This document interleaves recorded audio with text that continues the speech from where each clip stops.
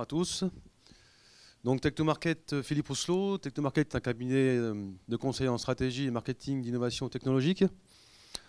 Nous accompagnons les entrepreneurs, que ce soit des PME, start-up, euh, groupes ou chercheurs entrepreneurs, dans leurs études de marché, leur stratégie de développement, et notamment l'accès au financement R&D, dont H2020 pour lequel je suis là ce soir.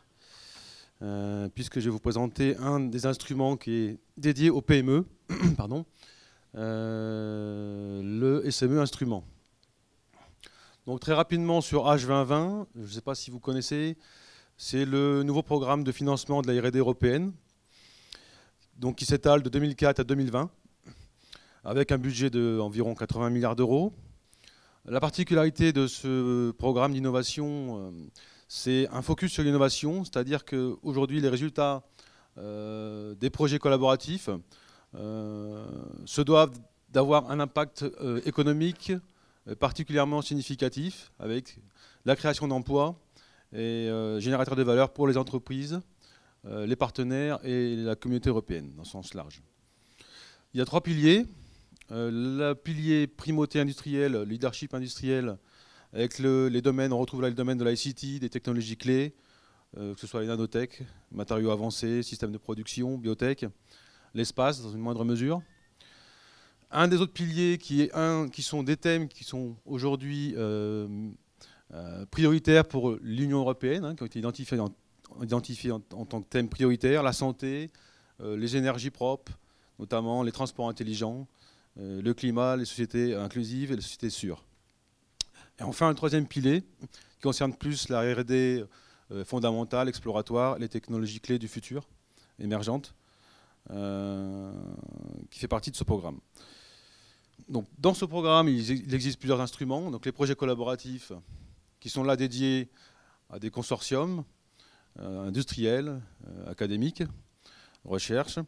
les projets collaboratifs, très rapidement, euh, en termes de financement, on a des subventions de 100% euh, des projets collaboratifs pour les non-profits, que ce soit recherche, innovation, action ou innovation, action.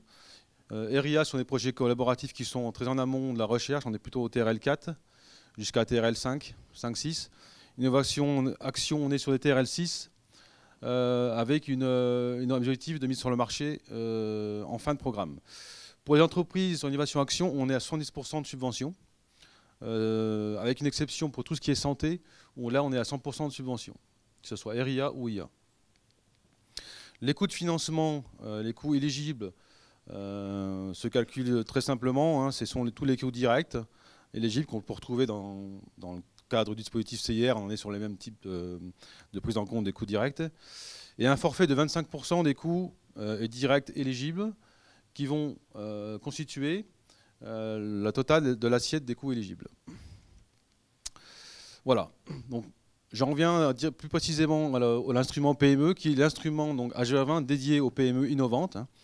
Euh, donc là, on est sur dans une logique d'industrialisation, de, mise sur le marché, de, prototypage, euh, avec des TRL qui sont supérieurs à 6. donc ça, c'est vraiment la cible de l'instrument AG20.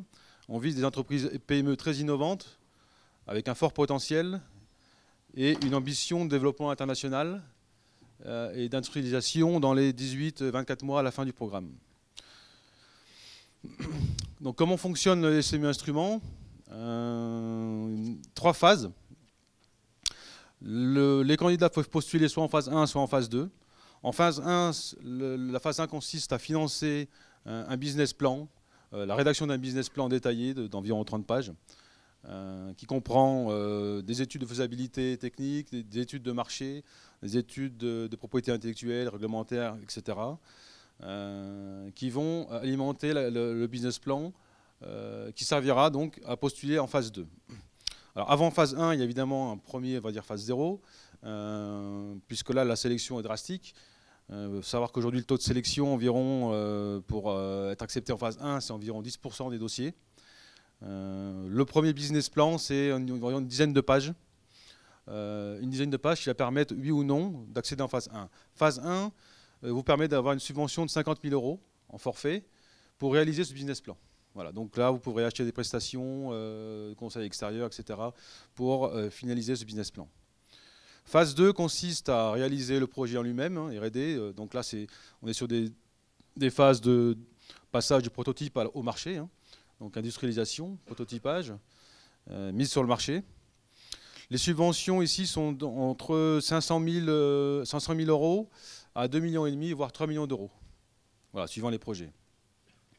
Il y a une phase 3 qui, concerne plus de l'accompagnement de la Commission européenne, du coaching, de la mise en réseau, labellisation avec un label de la Commission, euh, et puis surtout l'accès aussi à des risques, à des financements euh, à risque, capitaux risqueurs, et l'accompagnement qui va avec.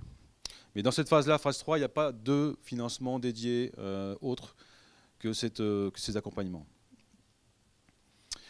donc le critère d'éligibilité pour la PME, c'est la PME au sens européen. Euh, donc, comme, a décrit tout à l'heure euh, mon collaborateur précédent, euh, Franck, pardon. juste un petit détail. Voilà, il y a prendre en compte l'aspect dans le capital. Si on détient moins de 75% du capital, là, il y a un calcul à refaire derrière pour valider si c'est toujours une PME ou pas. On n'est pas une PME au sens européen.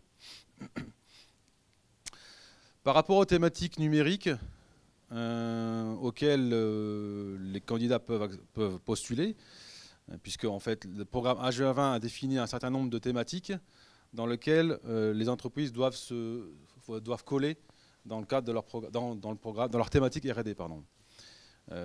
L'avantage du numérique, c'est qu'on va dire que c'est comme transverse.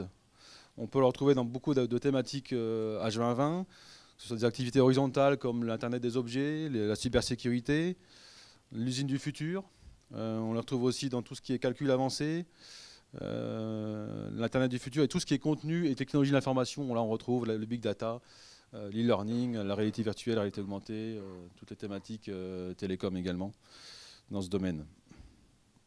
cloud, etc. Il y a aussi possibilité de coller des thématiques, de se postuler sur des thématiques du pilier défi sociétal. Euh, donc là, on, est, on a le choix, on a beaucoup de choix. Hein, je veux dire, euh, en tant qu'entreprise euh, du, logiciel, on peut se positionner sur des thématiques santé, bien-être, vieillissement. alors là, on, est sur des subventions à 100% dans ce cas-là. Hein. mais c'est le seul cas. Le reste, c'est 70% de financement. sécurité alimentaire, énergie sûre, etc. Voilà, donc la seule contrainte pour les PME qui souhaitent candidater à l'instrument PME H2020, euh, c'est de, voilà, d'un moment donné, de, coller à une des thématiques qui est attendue par la commission. Donc, ils sont listés ici pour tout ce qui est pour l'instrument H2020. En sachant qu'avec ICT 37, on est sur des thématiques très ouvertes où on peut toujours arriver à coller euh, euh, finalement sur un, call de la, commission. Alors par rapport aux facteurs clés de succès de cet instrument, comme je vous disais, c'est un instrument qui, est très intéressant parce qu'on arrive à des, taux de 70%, 100%. Euh, par contre, effectivement, il faut, être très ambitieux sur ce genre de, programme. Euh, comment ça marche? Vous êtes évalué sur trois critères. L'impact économique de l'entreprise, du projet.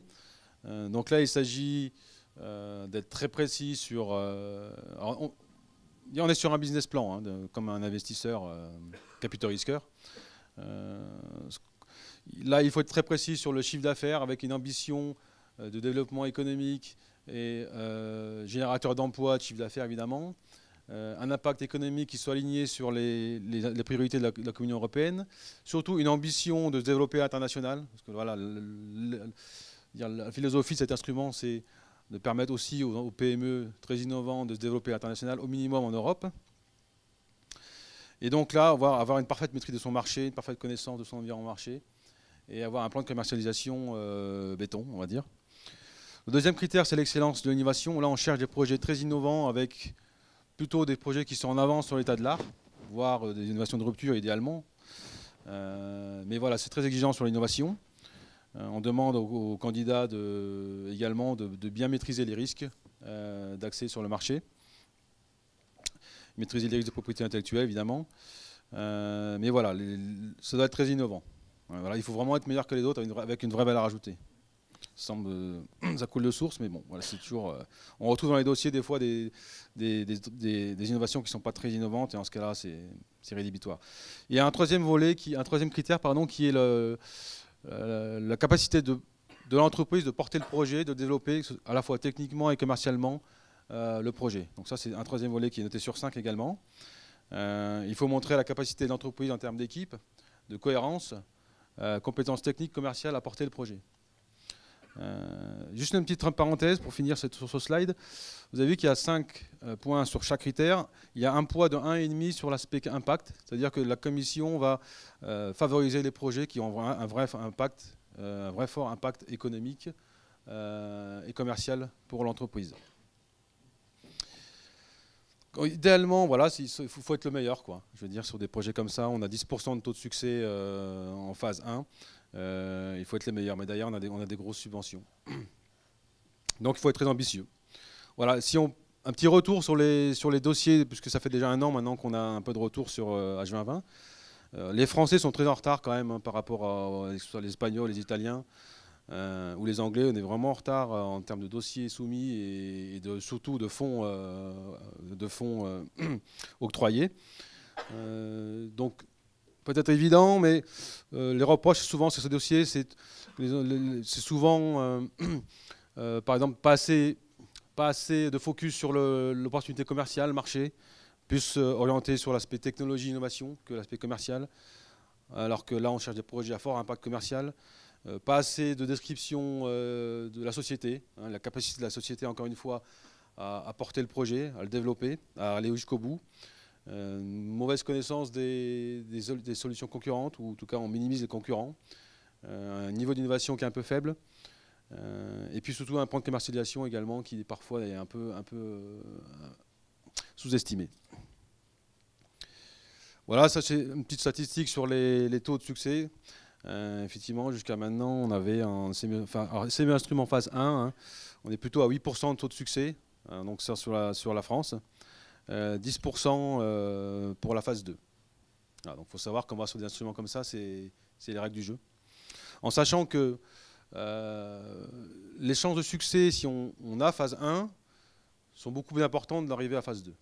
Donc on, on, préconise de passer par phase 1 et ensuite par phase 2. Parce que de toute façon, c'est un peu un premier, un premier tri. Hein. Voilà, donc la question à se poser sur ce type d'instrument, si on veut y aller ou pas. Euh, premièrement, est-ce qu'on a déjà 4-6 mois, je dirais même plus, que le temps de monter le dossier, de le rédiger, euh, il faut bien 2-3 mois. Euh, est-ce qu'on a 4-6 mois, voire 6-8 mois pour, avoir, pour obtenir les fonds? Est-ce que notre technologie, notre projet est en ligne avec les priorités de la, la Commission européenne? Donc les, tous les calls dont je vous parlais tout à l'heure.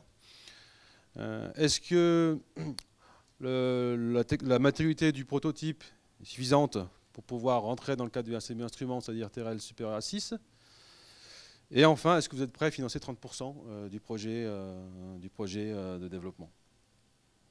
Voilà quelques exemples de lauréats récents dans le logiciel avec Studio AdWays qui est une plateforme SaaS Cloud propose des vidéos interactives avec une, cible plutôt web marketing. Euh, PayPlug, qui est une sorte de, nouveau PayPal, euh, avec une intégration euh, aisée en une minute, comme ils l'annoncent. Tout cas, c'est ce qu'ils annoncent. Carnot, Oxen, qui est une, start-up dans le domaine des jeux vidéo collaboratifs. Et Imagilem, qui est du software dans le prototypage rapide. Voilà, comment se faire accompagner euh, aujourd'hui, euh, vous avez des cabinets. Tech2Market accompagne euh, des PME dans le montage du dossier.